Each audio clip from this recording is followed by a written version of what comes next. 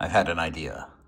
Okay, now I've measured these bearings. They will fit into here and we can obviously make them fit over the shaft on there. But before I do that, because I'm already printing these, I'm gonna run this with the higher resolution gears that I've printed. And I'm going to run it um, like I did before.